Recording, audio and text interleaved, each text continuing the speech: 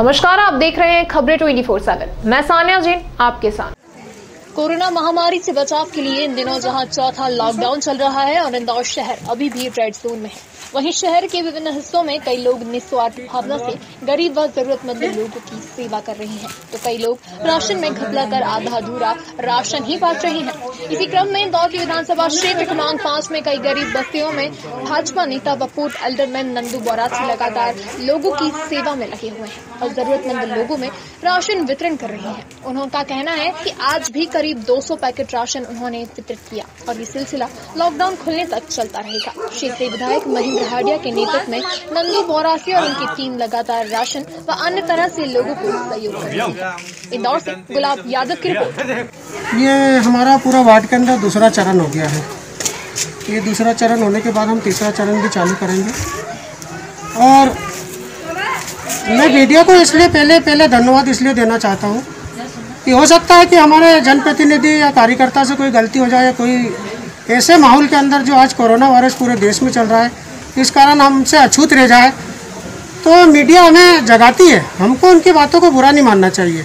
सबसे सभी मीडिया प्रभारी को मैं धन्यवाद इसलिए दे रहा हूँ इस चैनल के माध्यम से, क्योंकि कहीं अगर छूट जाते हैं तो हमें जगाते हैं तो हमें ये नहीं लेना ऐसा नहीं लेना चाहिए कि मेरे प्रति पॉजिटिव छापा या नेगेटिव छापा, ऐसा नहीं।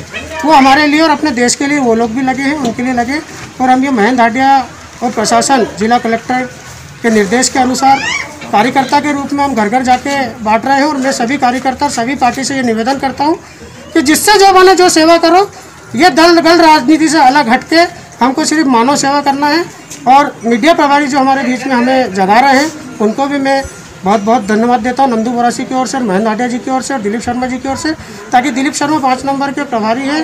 वो लगातार पैकेट पहुँचा रहे हैं और मेरा ये, मैं बांटता हूँ तो एक तरफ़ से बांटता हूँ कि आज 200 घर लेना है तो 200 घर लेना है। बीच में छोड़ना नहीं है, फिर उतना टुकड़ा लेके जैसे आज कैलाश पार्क में पूरा निपटा रहा हूँ।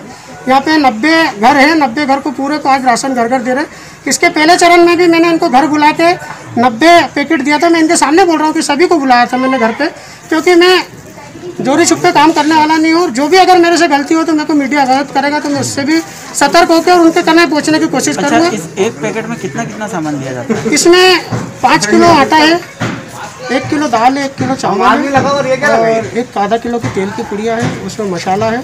पाँच छः दिन पाँच छः दिन सात आठ दिन बाद फिर हम आते हैं तो फिर बांटेंगे। और बीच में मैंने ऐसा जमाया है कि अभी दो चार रोज के अंदर मैं इनको आटा अलग से देने की सोच रहा हूँ कि अलग से इनको आटा दे के पाँच किलो और सात किलो में कुछ होता नहीं है।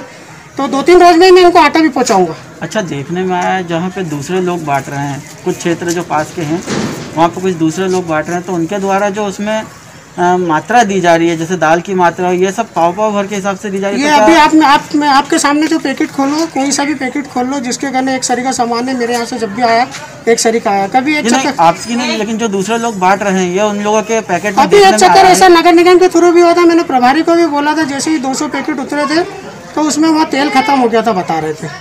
तो उन लोगों ने तेल की पाउच नहीं रखी थी तो मैंने बांटने के पहले ही लोगों को बोल दिया था कि इसमें तेल नहीं आया। क्योंकि इसमें क्या रहता है कि पहले हम लोग ने जो तेल और आटा और शक्कर ये सब बांटा है अब वहाँ से कभी कभी क्या पैक कहूँ क्या जाता है कभी क्या तो हमने उनको अधिकारियों को बोला तुम एक सरी का सामान दो। भले पाँच सामान दो लेकिन एक सरी का दो ताकि जनता के बीच में हम जाते तो उनको कम से कम हमारे प्रति गलत भावना नहीं हो। चलिए आपका नाम नंदू बोरासी आप लोग आए इसके लिए गरीब बस्ती में आप लोग जगा रहे हैं हम लोग को। मैं इनके मीडिया प्रभारी को मैं बहुत बहुत धन्यवाद देता हूँ कि आप लोग आए, आपने अपना अमूल समय निकाल के जनता की चिंता करी। आप सभी सभी इंदौर की मीडिया, प्रदेश की मीडिया को मैं बहुत बहुत धन्यवाद देता हूँ। जय भारत, जय हिंद। लगातार खबरों के लिए बने रहिए खबरें 24/7 के साथ।